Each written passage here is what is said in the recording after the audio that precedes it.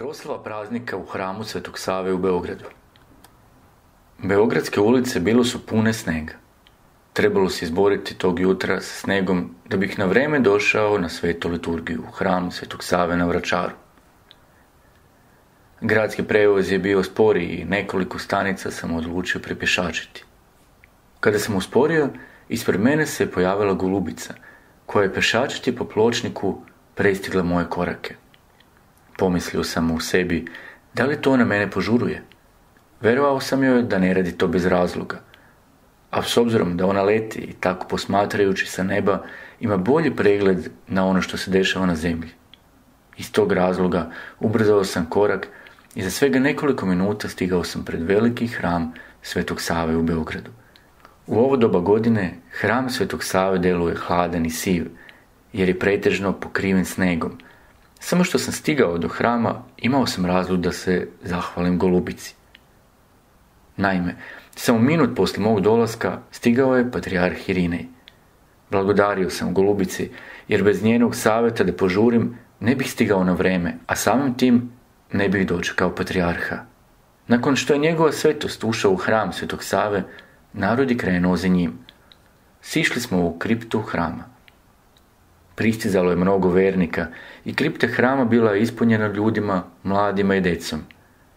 Tog dana obležavali smo praznik Svetog Save. Divio sam se umjetničkoj oazi fresaka koji su me impresionirale sjajem koji sam upijao tokom liturgije. U očima vernika video sam odraz te pozlate kojom sija kripta našeg velikog hrama. Svemu tome dostojni su bili naš patrijarh Irinej i vladika Remizijanski Stefan, koji su načalstvovali svetom arhijerejskom liturgijom. Posle svete liturgije posjetio sam parohijski dom hrama Svetog Save, gdje sam bio pozvan da se počastim povodom hramovne slave. Za stolom, nedaleko od patrijarha Irineja i vladike Stefana, proveo sam čitavo popodne i to sa članovima hora. Naše zajedničko vreme kao da nije prolazilo.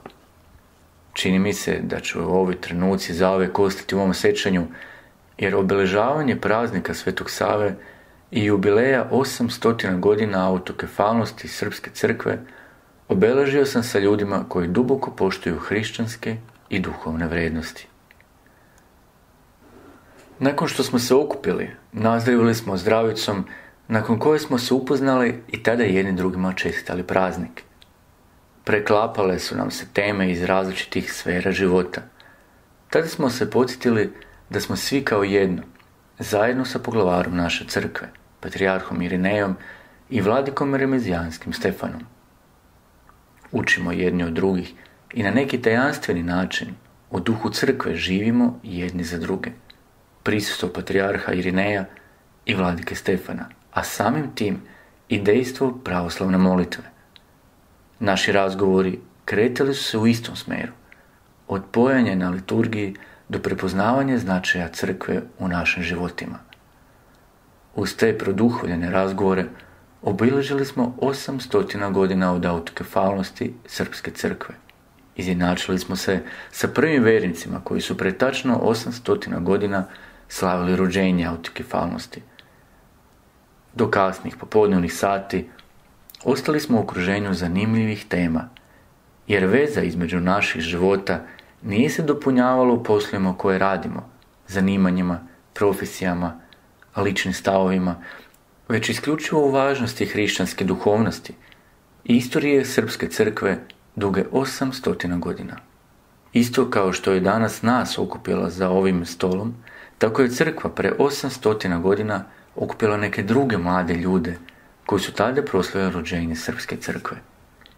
I mi smo deo večnosti, bez obzira što smatramo da smo nebitni, poput zrna pustinskog peska.